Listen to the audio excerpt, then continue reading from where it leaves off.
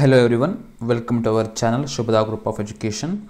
You are watching Satish Sir's physics videos for Karnataka CET and NEET. So here is next problem on semiconductor electronics. Okay, the problem says that the current through an ideal PN junction is shown in the following circuit diagram will be. Okay, so now we need to calculate the value of the value of what? The current flowing through the PN junction diode. Clear see here the 5 volt is applied here as it is a positive terminal and it is connected to p type here 5 volt correct? And this is the negative terminal clearly you can see and this is the positive terminal and it is connected to n type. So clearly the pn junction is in what condition?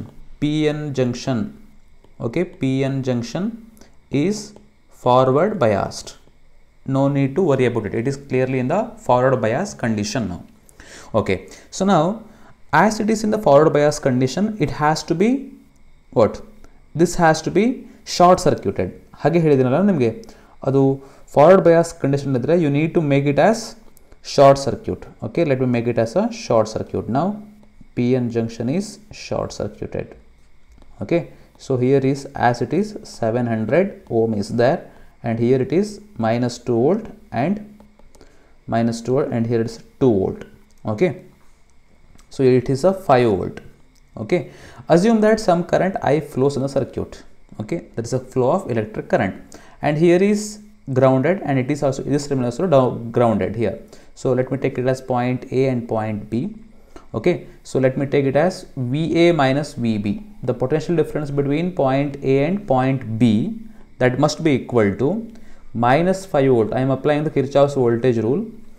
Minus 5 volt current for always flows from higher potential to lower potential plus 700 into i 700 into i minus 2 volt that is equal to at va it is 0 volt correct? And at B, vb is also it is going to be 0 volt. So that's the reason it is going to be equal to 0 correct? So now minus 5 volt minus uh, uh, 2 volt is going to be how much 7 minus 7 equal to minus 700 i. It implies i equal to how much? 7 divided by 700 7 by 700 correct? So it is going to be equal to how much? 1 uh, into 10 to the power of minus 2 ampere. 1 into 10 to the power of minus 2 ampere or else it is 0.05 here. So clearly i can see which is the right answer here just go through the right answer. Okay so here it is 1 into 10 to the power of minus 2 in the sense 100 milliampere. Option d is the right answer for this question okay so it's my immense pleasure to introduce about un academy plus subscription. If you take the plus subscription from the Unacademy there is a best plans for karnataka cet 2021 aspirants are there is a 12 months plan at just rupees 12375 and there is a 6 months plan at just rupees 10125 rupees.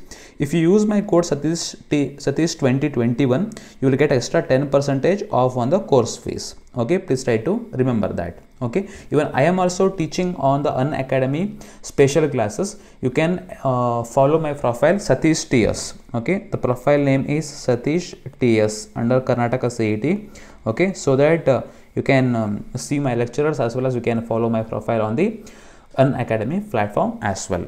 Okay? Look at the next problem. The value of current in the following diagram will be. Okay? So you need to find out the value of the current i flowing through the circuit when you see the di uh, diode in a circuit first of all you need to check whether the diode is diode is in forward bias condition is in forward bias condition or else it is in reverse bias condition.